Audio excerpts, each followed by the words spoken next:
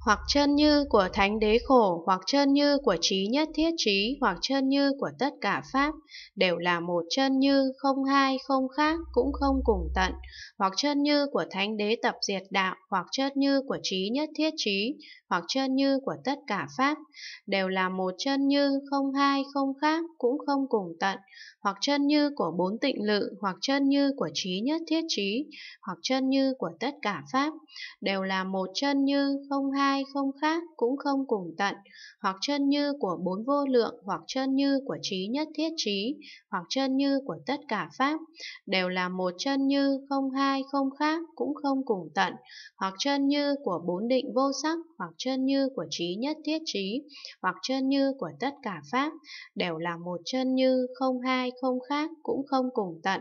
hoặc chân như của tám giải thoát, hoặc chân như của trí nhất thiết trí, hoặc chân như của tất cả pháp, đều là một chân như, không hai, không khác, cũng không cùng tận,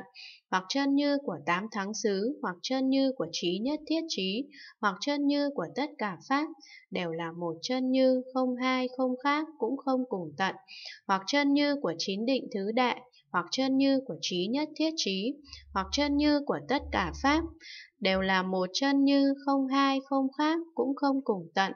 hoặc chân như của mười biến xứ, hoặc chân như của trí nhất thiết trí, hoặc chân như của tất cả pháp, đều là một chân như, không hai, không khác, cũng không cùng tận